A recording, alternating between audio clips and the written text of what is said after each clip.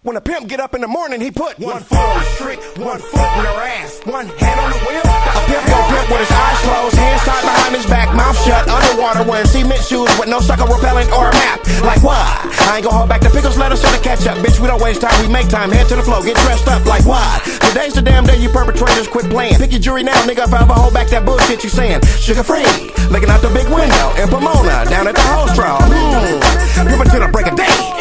Go to sleep and wake up again and still be feeling that way. Like what? What's up? What's up? What's up, everybody?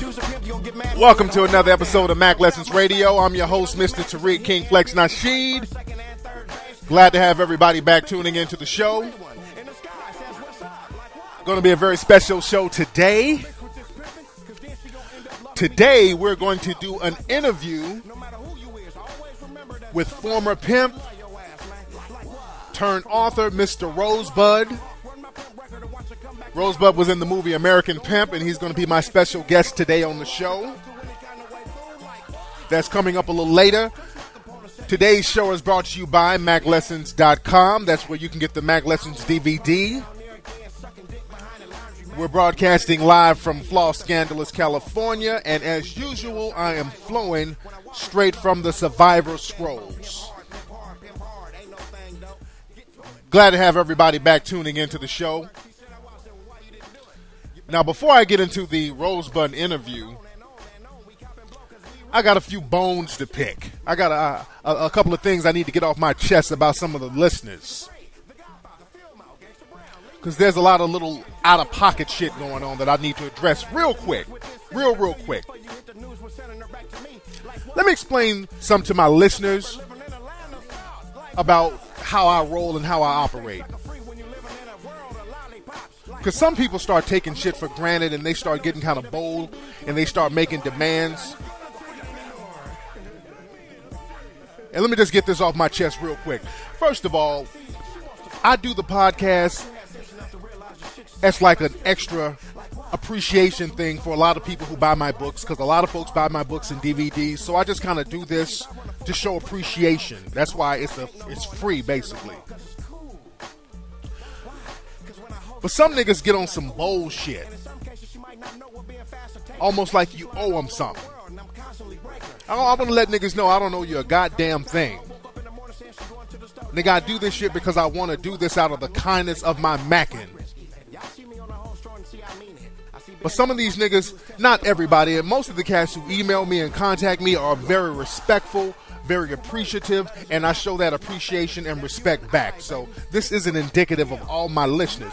But it's like every now and then you get one or two niggas who just got a lot of boldness built up in their chest and they want to come at a nigga sideways. So I got to address these little niggas real quickly, like little roaches. I got to spray them. You know, you got to spray roaches or, or these motherfuckers will spread.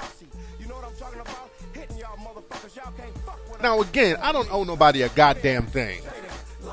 I don't know if guys think if they buy my books, I owe them some extra game.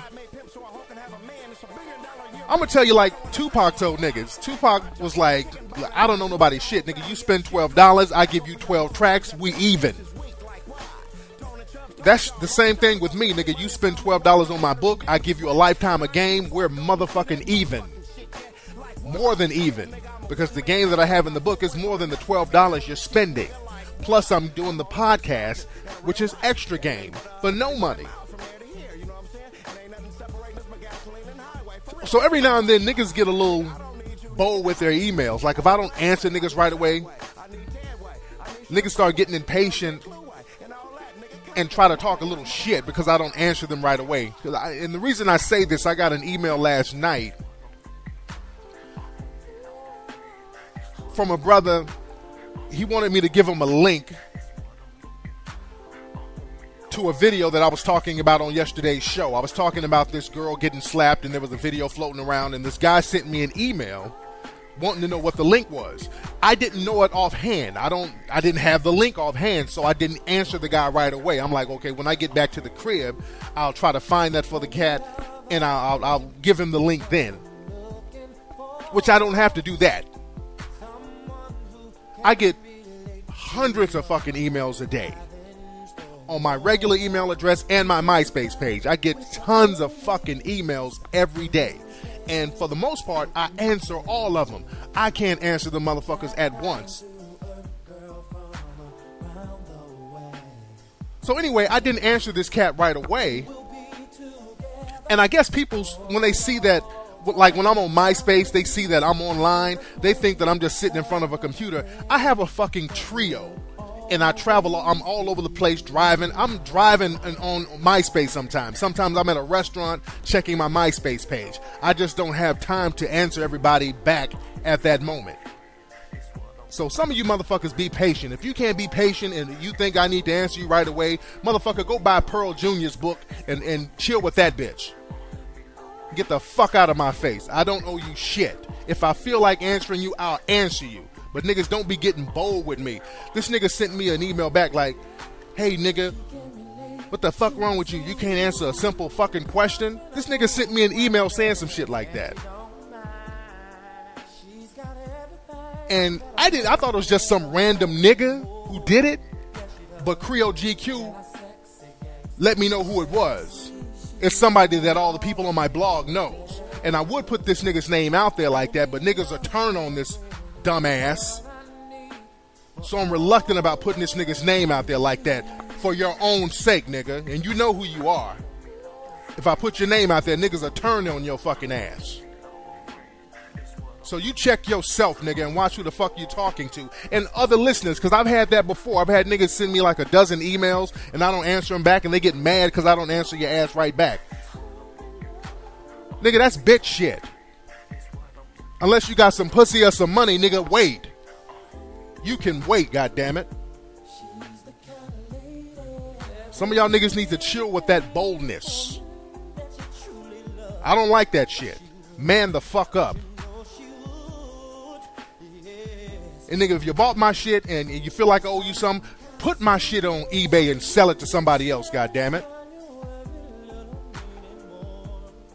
But chill with that bold bullshit. Nigga, I answer you when I can answer you. It's called being busy, nigga.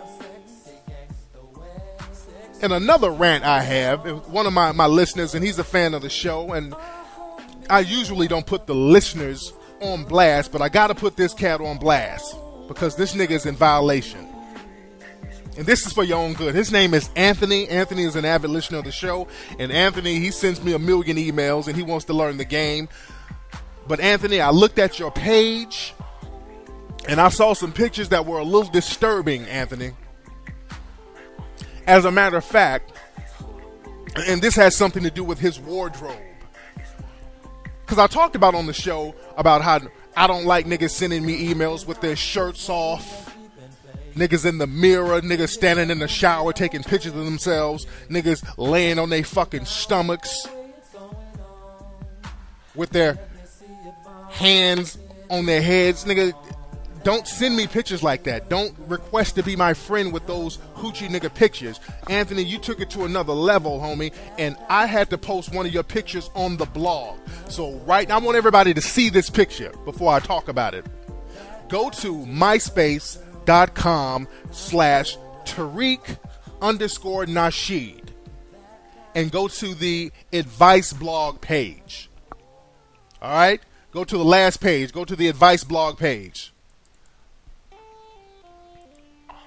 And for those who don't know how to spell Tariq, that's T A R I Q, last name N A S H E E D. Are you guys on the page yet? MySpace.com slash Tariq underscore Nasheed. Go to the advice blog page. Go to the last page. I know there's like over a hundred pages. Go to the last page. And I put a picture of Anthony on there. Now you guys looking at Anthony's picture? Do you see the problem with this nigga's picture? Other than the fact that this nigga has his shirt off, Anthony, nigga, are you wearing a thong? Anthony, this nigga is wearing a goddamn thong. Nigga, you in violation of the game. I'm disappointed in you, player. Thongs and macking do not go hand in hand, nigga.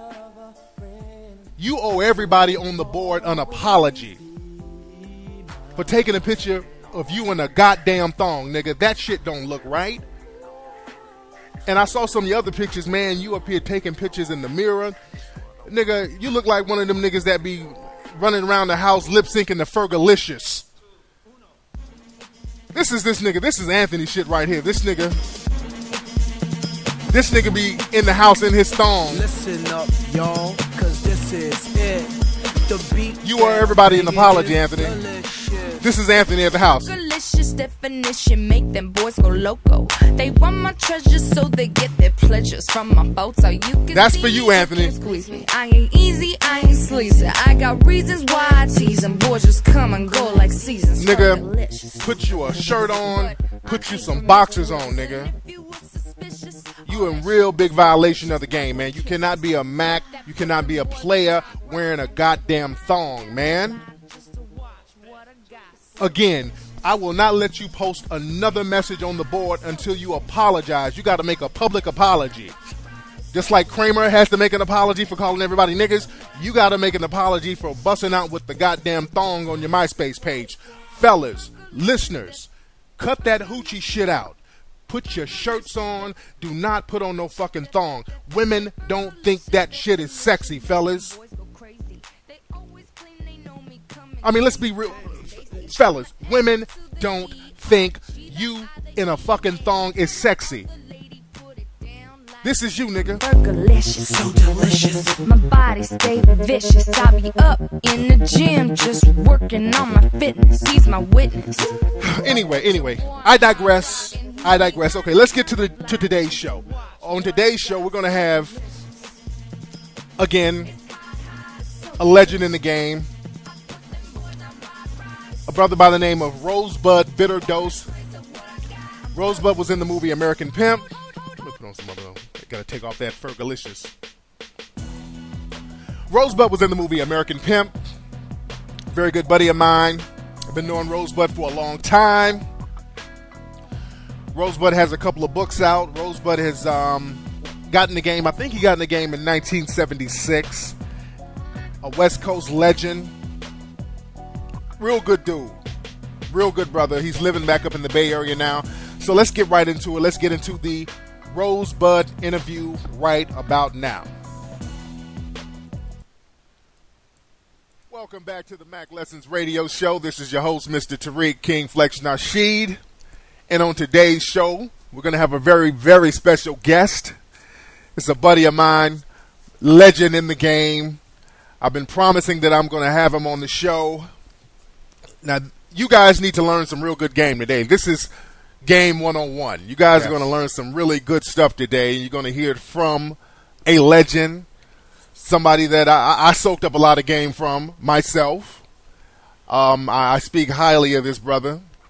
He was in the movie American Pimp. He has a book out now called Rosebudd the American Pimp. Ladies and gentlemen, I introduce to you Mr. Rosebudd Bitterdose. What's going on, Rosebudd? You got it, man. What's happening with you? I'm good. I'm good. Long time no hear. Man, I'm up in the bay now, you know, uh, so I ain't up there where you at, but you know, Yeah, what, what's how's the Bay treating you? What's going on up there in the Bay?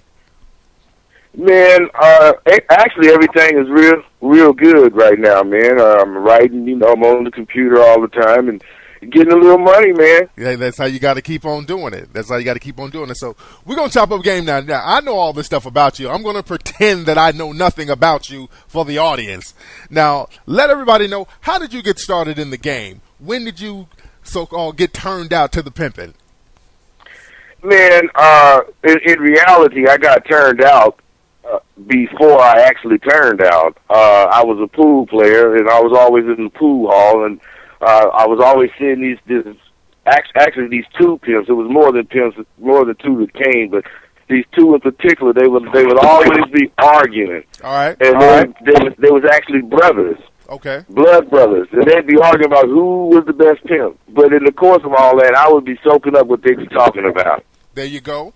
So when you got your, your first lady, man, how did you know what to do? I mean, how did it, did it just come natural to you? How how did you know how to put the game down? Well, uh, Three, I tell you, man. Now that is, is is something that I think about all the time because I was I wasn't a pimp when I called my first broad. Right. But when I called my first broad, somehow on the way over to Oakland, I knew that I needed to take charge of this woman to let her know that I was not bullshitting, and I made a move. You know, I grabbed her and I told her that I, uh, that you know start shaking her a little bit and told her that you know don't fuck with me. She said, "Well, what did I do? What did I do?" And I said, "She's," I said, "You you, you didn't do nothing." Now imagine what I do if you do something. and and the girl understood that, and I'm not saying I never had to touch her, but she was the best best hoe I ever had because she followed my instructions to the letter. And I believe it started that day in that car when I let her know not to fuck with me. There you go. There you go. You had to give her a warning shot, so to speak. So basically, I, I'm not. I don't want to emphasize no violence there, but absolutely. I'm just saying it was it was a situation where I had to be firm. Right. So, how do you compare the, the, the players of, of that era that you came from to the Cats today? How do you think the game has changed today?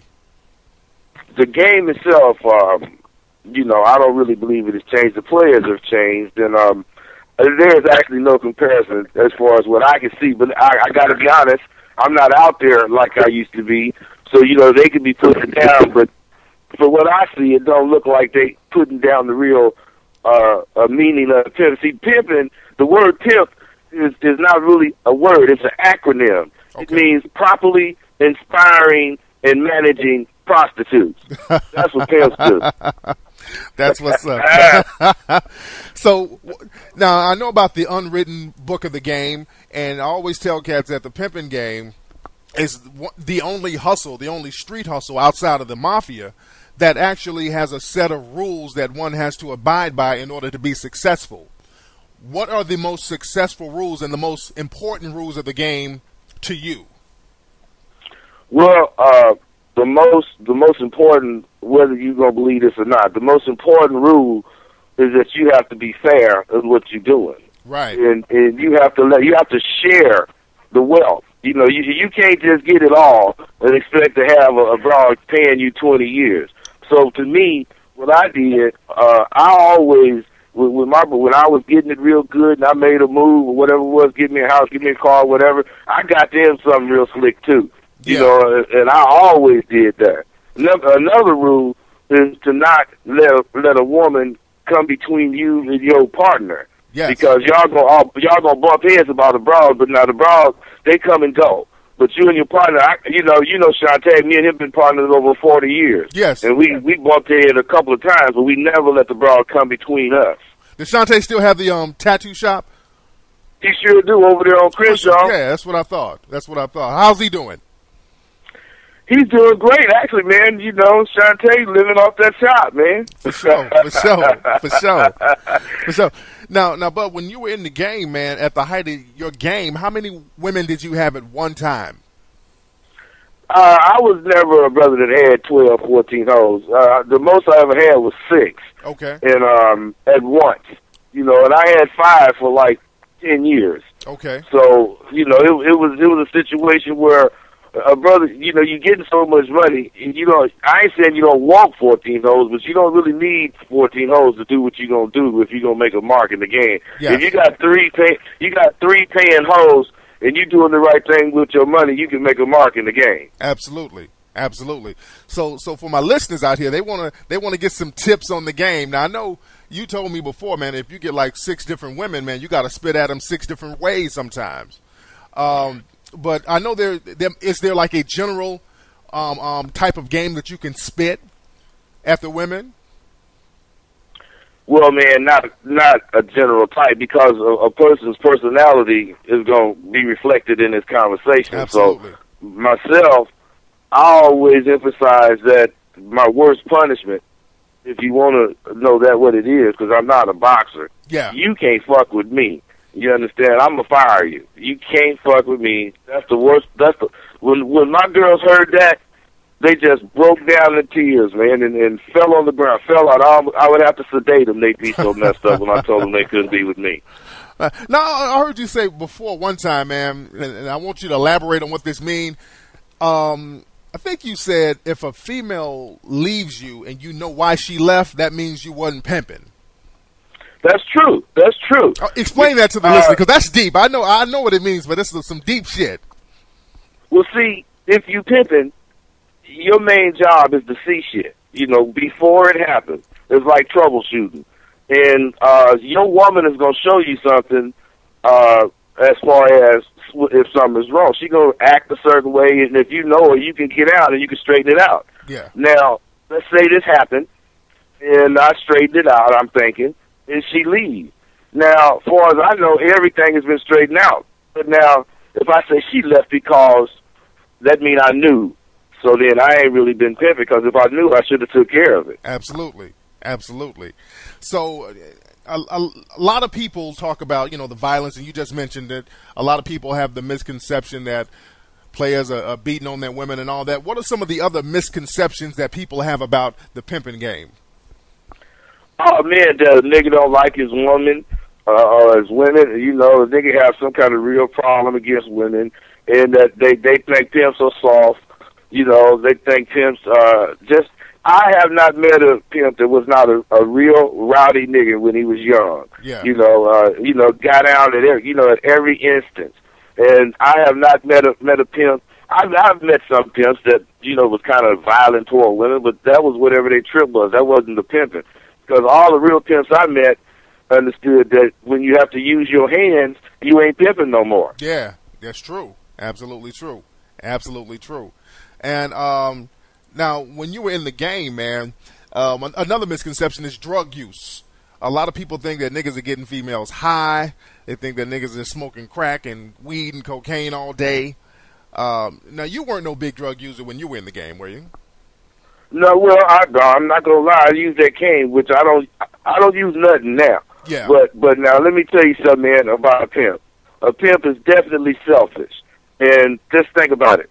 You ain't gonna be trying to have your broad getting high because if that's the case, the drug nigga gonna get the money before you do. Absolutely. and, and you're not finna, you know, a trick.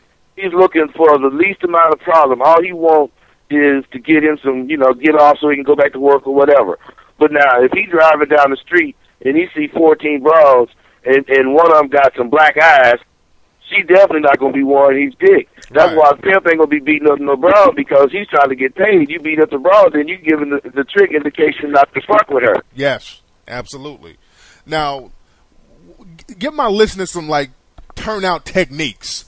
Like when you turn out a female, like where do you go look for new women, and what's the the, the basic turnout process? I know it, it it differentiates, but what's the basic process? Well, man, me, I she's a turnout. She ain't really down in the game. I after I picked her up and rode her around and I talked to her and called her. My first thing is I tell her I give her my phone number and tell her to call me back. Yeah. Uh, and and and I would be looking for her to tell me sh- she don't want to go. Now, when she tells me she don't want to go, I know I can really pimp at her now. So what I'm gonna do is, is school her about where I'm finna take her and where I'm finna put her down at, and I'm gonna call one of my other bras, and I'm gonna have one of my other bras meet me wherever I'm talking about, and then I'm gonna put her down with the bras. Okay. But then when she when she come home that night, uh, I'm not gonna be tripping on the money. I'm gonna be tripping on having her up all night listening to me kick game the way I see it. Right.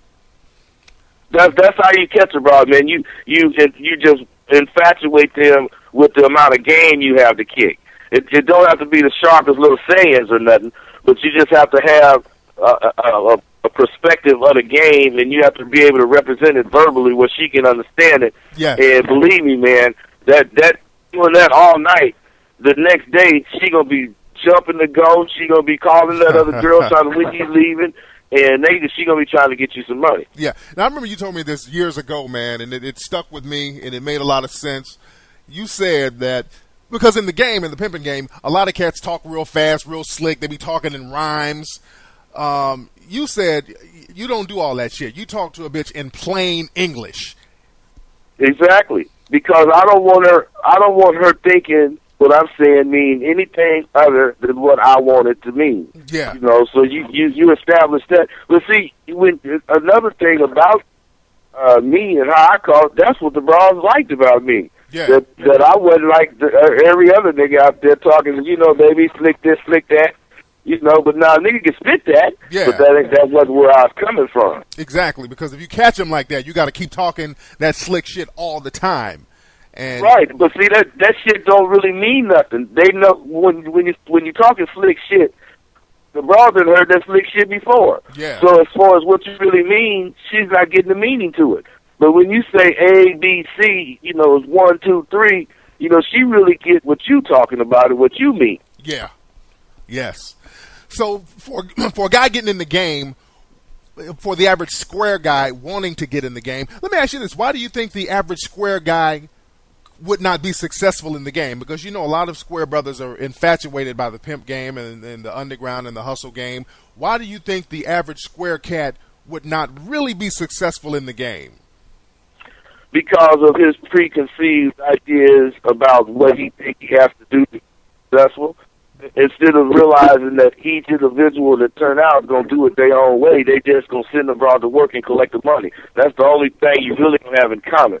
See, the average square dude, he's gonna he's gonna try not to be fly. He's gonna he's gonna say, I want to get the money and uh I want to not be all fly. I want to stay low key. Woo woo woo.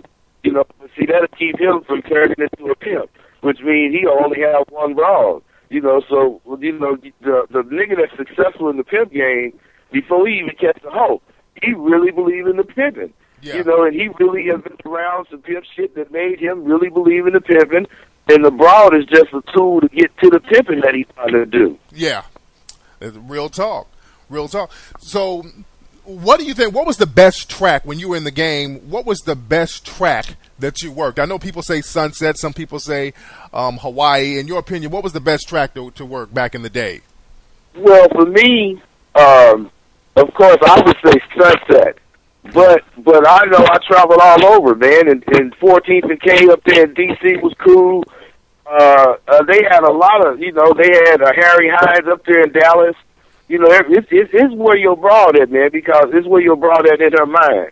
You know, because if she down and there's a track, the traps ain't gonna be too much different on them traps. If she if she gets you a nickel over here, she gonna get you a nickel over there. Absolutely, absolutely, absolutely.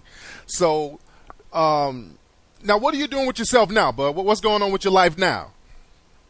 Oh man, I'm like I say, I'm writing. I got six books I didn't wrote. They they um not all of them are available right now, but uh, I have the website Rosebudd dot net. Uh, on there, I'm offering. You know, you know, uh, I wrote this book about myself, Yeah, and I let this white boy read it. And he came back and he told me how he enjoyed it. And I said, well, well what did you enjoy about it? And he said, and he quoted me. He said, uh, when you said, bitch, where is my money? And I wrote this book, and I know I didn't say that, so I asked him, where did he see that at? And he showed me a passage in the book that was actually a love scene, and I was saying, "Bitch, where my motherfucking money?" You know, you know Yeah. how pimp talk. Yeah. And, and and and she understood me to be in a romantic tone, but I I saw through that a reader that don't have uh, knowledge of the game going to misinterpret a lot of things. yeah, And that that sparked me to, read my book, uh, and I orated my book, put it on CDs, and I put music behind it, and I, it's it's really dope now, man. And and the music is mood music, you know, and it it, it sets sets you into the mood of what's going on. But more importantly, while you listen to this, you gonna get exactly what's going on because Yeah. I'm the one who wrote it. Who better to know what I meant when I was writing it? You know what I'm saying? Exactly. And um, you have a MySpace page. What's your MySpace page, bud? uh, Bud uh, at rosebudbitterdose.net. Cool, cool, cool. So everybody, check that out. Check out the books. Check out Rosebudd's CD. Check out all of his stuff. Real good game, Rosebudd. I thank you for being on the show, man. It's been a pleasure. And um, anytime, man, anytime you want to come back to the show, man, I'm gonna have you back on to chop up more game. Hey, listen, man, I really appreciate you calling me, and I hope all you guys check that website out because you know something there for you. And and Tariq is down. That's all I got to say. For sure, for sure. All right. Uh, looking out, bud. Thanks a lot, man.